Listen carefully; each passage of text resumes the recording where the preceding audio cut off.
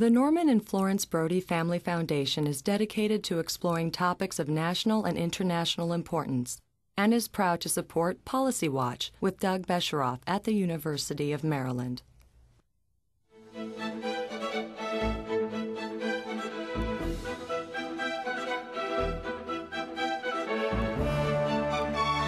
From the University of Maryland, this is Policy Watch with Doug Besharov. The No Child Left Behind Act of 2001, passed by Congress with overwhelming bipartisan approval, has as its goal that every American child be proficient in math and reading by 2014. Many believe that the law's emphasis on state based testing standards, alongside penalties for failing schools, would encourage public schools to improve student achievement. Meanwhile, some education reformers advocated for more charter schools and school vouchers that would allow parents to choose better schools for their children.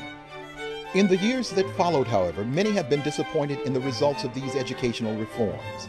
Joining us is one such critic, Diane Ravitch, who was Assistant Secretary of Education under President George H.W. Bush and is the author of The Death and Life of the Great American School System How Testing and Choice Are Undermining Education.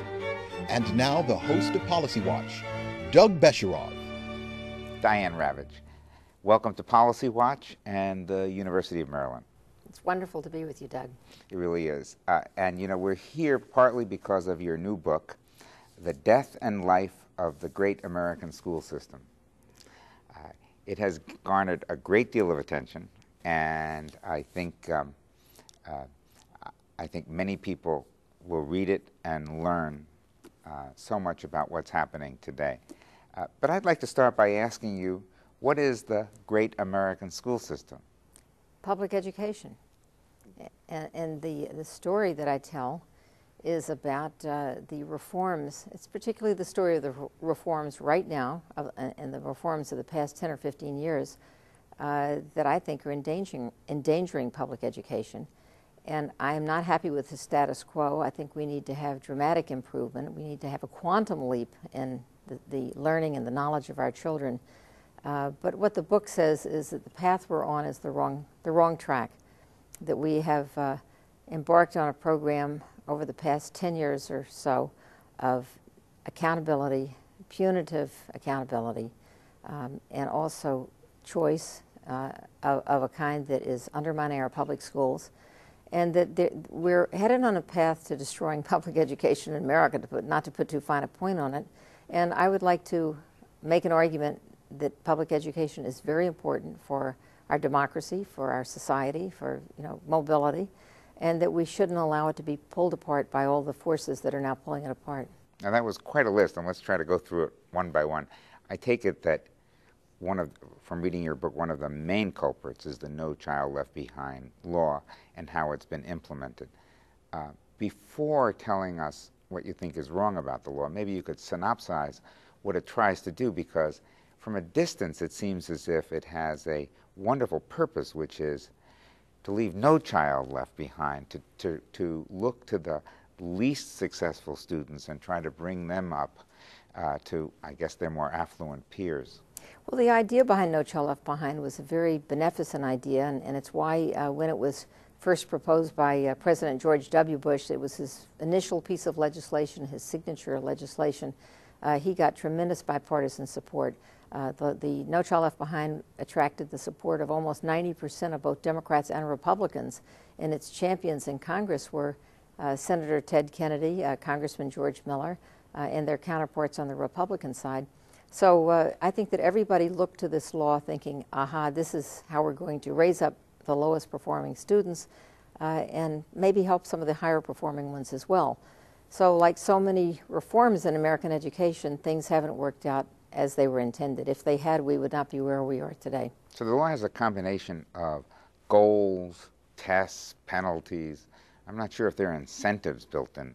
The incentives, if there are negative, but could you tell us about the goals in the law and how they try to accomplish them? Well, what, what the law says in brief is uh, every child from grades three through eight will be tested once a year in reading and math.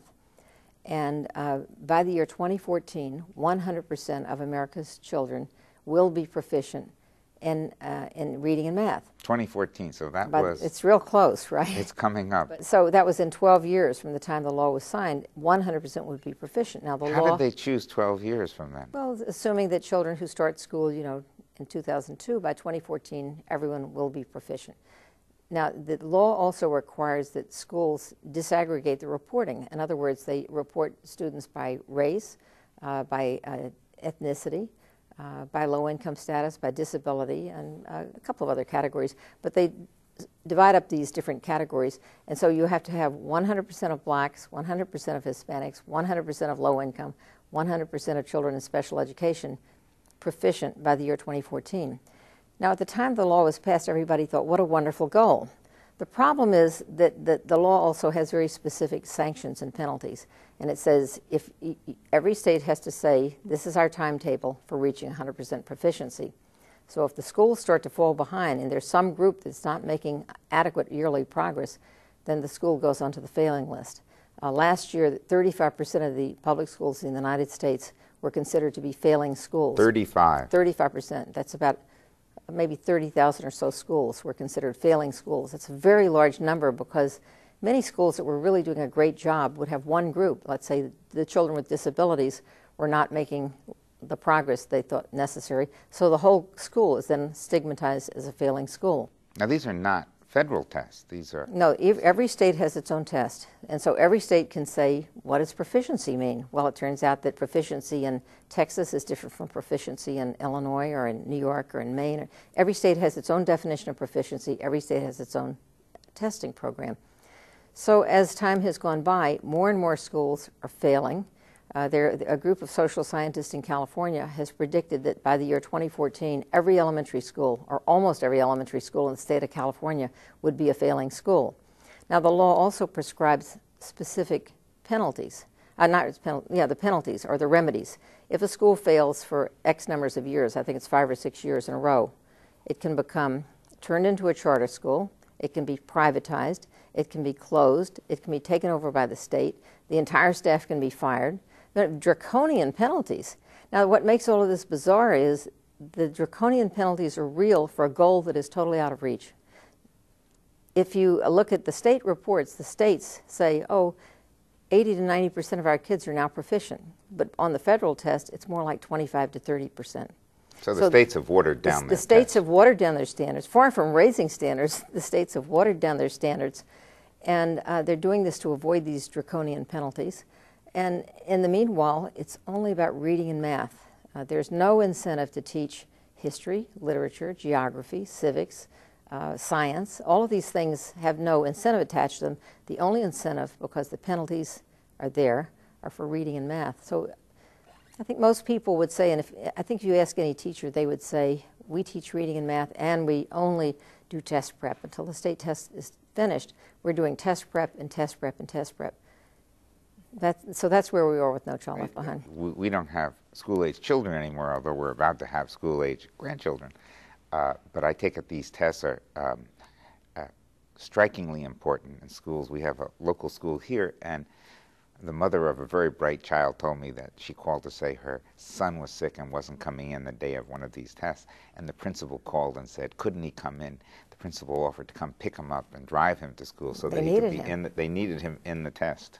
Well, see, the, there's a dis- basically the schools don't really worry about the brightest kids because they've already crossed the bar of proficiency. And they, they almost don't worry about the kids at the very bottom because they're so far below mm-hmm. proficiency. They focus on the kids in the middle that they can push up the bar. They're called the bubble kids to get them over that lever. I mean, basically, what No Child Left Behind has created is a culture of testing in which knowledge is unimportant because knowledge doesn't count. And the only thing that matters is scores on the standardized multiple choice dumbed down test. And uh, I, I've never met a teacher who said things are better because of this testing regime. How did all this happen? Uh, and how did all the support get garnered for an approach which, in hindsight, we have to scratch our heads and say, what did they have in mind? I think it's probably the law of unintended consequences. I think that if we were to look back and say, did anyone realize this was going to be the outcome? Did, did George W. Bush and the Republicans realize that this was going to represent the most dramatic expansion of federal intrusion into the classrooms of America ever in history, I think they would have said, "Oh no, we're leaving every state to define its own, pick its test and define proficiency." That was until 2009. Right. right? We'll get to that in a moment. Yes. So I, I don't think that uh, the Republicans understood how extensive the federal role would become and, and, how intrusive it would become. And I think the Democrats expected, well, you know, it's great. We have a vastly expanded federal role. We like that. And that means lots more money will follow. Well, some more money did follow. And there was a big increase in the education budget. But um, I think to this day, the leading Democrats in Congress will defend No Child Left Behind because they say, well, at least it gives us accountability. But by accountability, what they mean is that someone somewhere is being punished. And what has been created, which nobody's really thus far been willing to take the blame for, is an incredibly punitive atmosphere towards teachers, an incredibly punitive atmosphere towards schools. And it's not constructive. Just punishing people doesn't make schools better. Well, it's quite striking. I interrupted you a moment ago, but uh, because I wanted to get to the really massive change that's being forced on the states by the Obama administration with the um, stimulus money. Uh, maybe you could talk a little bit about that. Sure. Well, th- there, there's a principle that you're well aware of called federalism, in which the federal government has a relatively minor role in education because it doesn't put up very much money. The federal contribution to the cost of education is, is about eight cents on the dollar. And the states pay the biggest chunk, and usually the states is or where educational authority resides. So between states and local districts, we have uh, lodged both the paying for education and control of education. But the Obama administration has, uh, with the stimulus money that they received uh, of the massive stimulus that passed a year or so ago, they had $100 billion for education. 95 billion was set aside to basically to just keep the schools open and pay teachers and, and keep uh, keep them employed. But for only for one year, so that right, but only for one year. That will run out, and everybody's going to soon be facing a huge financial crunch. But five billion dollars out of the hundred billion was set aside to create a competition, and it was called Race to the Top. I have a little bit of problem with the concept of a race to the top because um, our fundamental principle for many years has been equal educational opportunity. And we're not trying to find someone somewhere who can race to the top. But their race to the top consists of setting certain criteria. One is they want the states to remove limitations on charter schools. And charter schools are privately managed schools that receive public funds. It's a form of privatization. So you have the Obama administration incongruously suggesting that more public schools should be privatized and put into private entrepreneurs' hands. Uh, second, and either bribing or blackmailing the states. And saying to the states, if you want to have part of this $5 billion pot at a time when you are struggling to, uh, with your deficits, remove any restrictions or, or lift the caps, make them um, increase the number of privatized schools. The second thing they are expecting of the states is that they will use the test scores of students to evaluate the performance of teachers. Now, there are many, many reasons why I can tell you this is a bad idea, uh, but I have a chapter in, in my book explaining why this doesn't work and why there is no there's no district. They're not they're not saying there's a district that we know of that got good success by doing this. If you evaluate teachers based on student test scores, and, and the tests we have right now are, are really not good tests, what you're really saying to the teachers is test prep, test prep, test prep. As bad as the Bush NCLB was in terms of turning the screws with test prep and testing, the Obama administration is raising the stakes by saying not only will you be judged uh, by your student test scores, you might get bonuses, you might get, and you might get fired. If your scores don't go up, you'll be fired. Well, this is this pay for performance business for teachers and so forth. What struck me was, and that was on the table and, and so forth. But what struck me is they didn't impose any accountability at higher levels. This is just the teachers who are to blame when Johnny doesn't do his homework. Well, it's, um, you know, if you, if, if you look generally at why do students do well in school and why do students fail, some part of it is they had a good teacher, they didn't have a good teacher. But what about the student themselves? There used to be a time where we would say if the student didn't come to school, if the student didn't do his homework, and, and didn't do well and didn't get a good test score, he has something to do with this. She has something to do with this. So the student is responsible, the family is responsible, and if you ask any parent, they'll say what parents do really matters. If you uh, have a place for your child to do homework, if you make sure they do their homework, that makes a difference. If you talk to them over the dinner table, take them, make sure they go to the library or take them to museums, that makes a difference. If you neglect all of that and let your kids watch TV or, or play with video games, as long as they want to, that matters too. So parents play a role, students play a role, the community plays a role, the popular culture certainly plays, plays a role. And yet the only ones who will have their heads on the chopping block will be teachers. Well, this um, is what's striking to me. What I don't, it almost seems like a fad. I thought 10 years ago the answer was better principals. And it seems to have shifted from better principals to uh, better teachers. Well, there's, there's this weird uh, thing that's happened. We have a number of economists who studied the schools, you know, from a distance, as economists do, and they said the key to everything is the teacher. Now, we know that teachers are really, really important. If you have a bad teacher, it's hard to learn very much, right? So we all want great teachers in the classroom. Then they turn it around upside down and say, and if students don't learn, it's because they didn't have a great teacher. So therefore, the success is the teacher's credit, and the failure is the teacher's blame. Everything is on the teacher. But then you, the problem becomes how do you judge who's a great teacher? Because I'll say if you have three teachers in a great teachers in a row, or five great teachers in a row, you can completely close the achievement gap, and there will be no no child left behind. Except that no one knows how to identify the great teachers except by looking at test scores. And it turns out that there aren't very many teachers who produce great test scores year after year after year, and there are not enough of them. And so the answer is, well, just fire the bottom 5%. So this year we'll fire the bottom 5%. Next year we'll, at some point, we'll have no teachers left and nobody will even want to be a teacher. It's well, a ridiculous a teacher, strategy. I, just to amend your comment for a second, maybe we'll have no teachers left, or maybe we'll have no teachers left in places where children are hard to serve. Right. That's the real danger, is that teachers will migrate to the affluent suburbs and, and there'll be a competition for jobs there and they will have the best teachers and the teachers who are left over will, if they want to work, will go to the to, to the schools with the neediest kids, and that's a terrible outcome. Now, nature abhors a vacuum, and here in the Washington D.C. area, it's really quite interesting. Maryland has been extremely hostile, the state of Maryland, to charter schools, and I don't even know whether we have one or two, but I don't think we have many. Uh, but I think in D.C., 30 or more percent of the children in the system now are in charter schools. And that, it seems to me, is uh, the obverse of what you're talking about. And you, you mentioned it when we started this conversation about privatization. Tell us about charter schools. Well, the, the original reason for charter schools uh, they were created, the idea at least was launched in 1988, and it came from Albert Shanker and some very. A great man. A, a great, great man. man. and a very obscure professor of educational administration in Massachusetts. They didn't know each other, but they both simultaneously up, came up with the idea that public school teachers would create something like a school within a school. It would be free of all of the bureaucratic regulations, and then they would be free to solve problems uh, they would take the most difficult children, they would take the kids who were unmotivated and didn't want to be in school, and they would come up with new ideas which would then feed back into the regular school so that the regular schools you could, call those could become R&D laboratories. Right, they're like R&D laboratories within the system. And that's what's so striking to me about the No Child Left Behind law. It doesn't seem to say, you know, we're not really sure how to do this.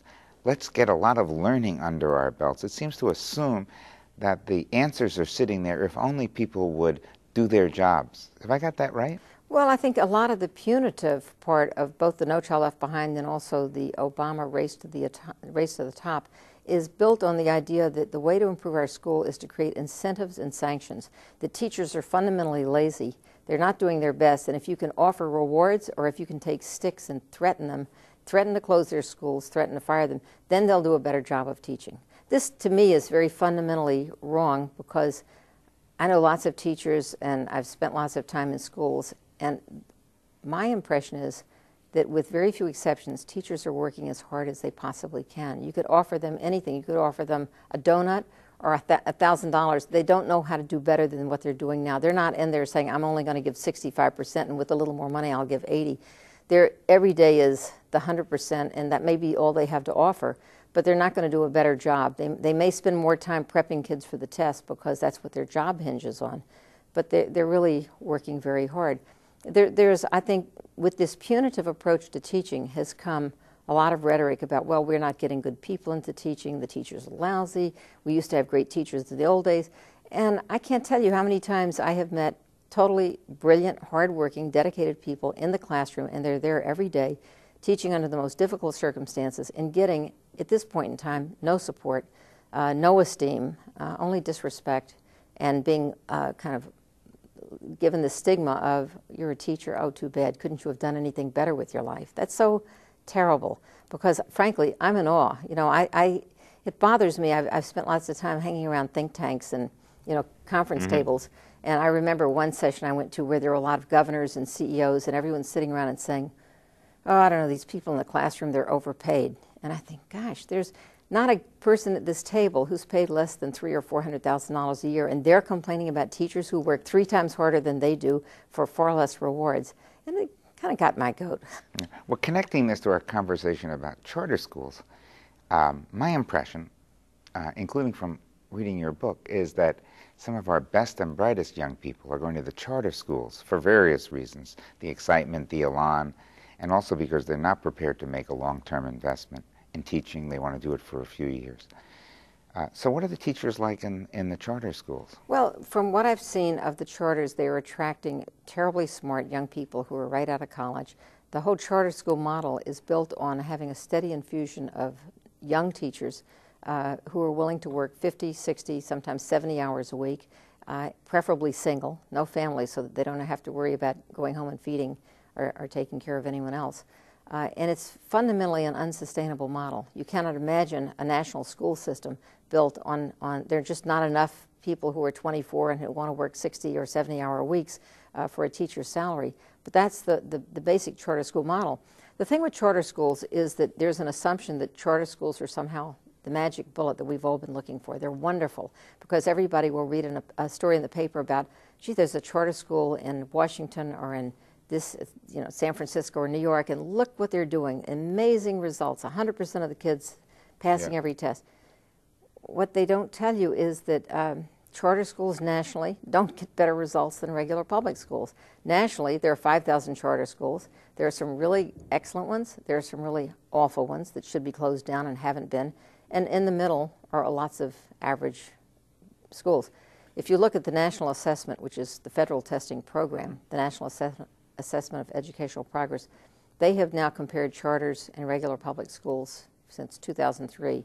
So it's 03, 05, 07, 09. Charter schools students have never outperformed regular public school students. That's true for black students, Hispanic students, low income students, and students in cities. So the charters have not outperformed, but more significantly, and I think we're, which is what I am concerned about in my book, is the charters tend to accept, tend to attract the most motivated students. So even when they open up in a very poor community, as most of them do, they'll have a lottery where the motivated families will say, I want to get out of the system, I'm going to go to the charter. They have a lottery.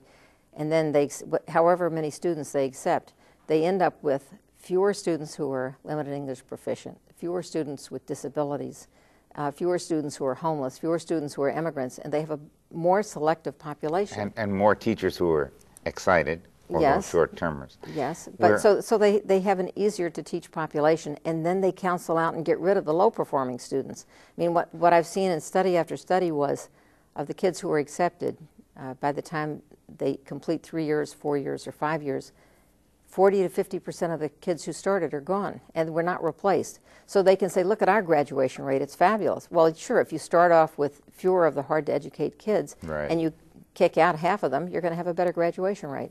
Aren't numbers wonderful?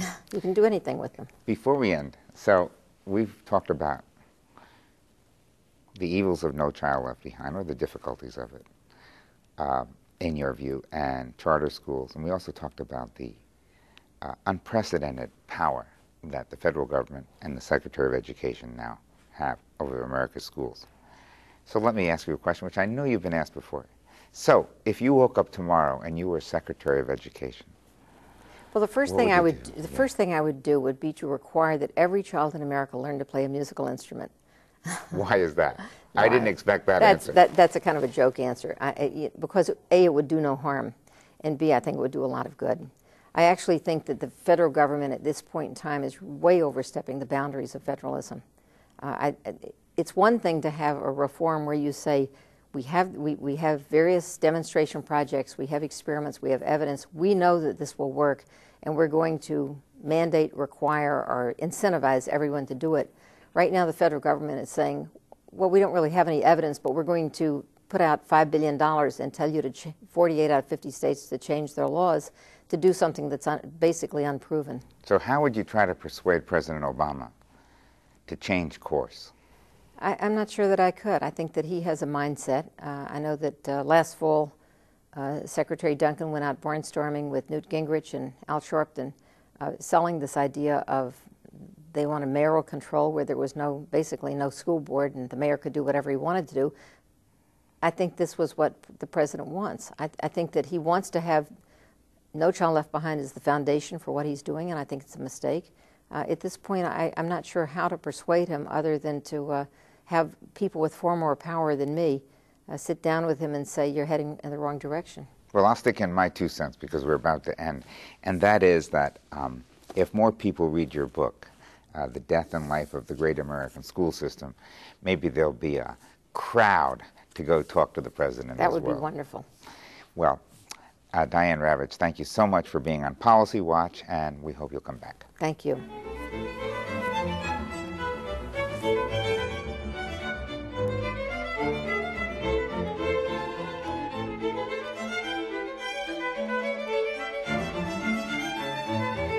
This program was produced by the University of Maryland, which is solely responsible for its content. The Norman and Florence Brody Family Foundation is dedicated to exploring topics of national and international importance and is proud to support Policy Watch with Doug Besharov at the University of Maryland. We are PBS.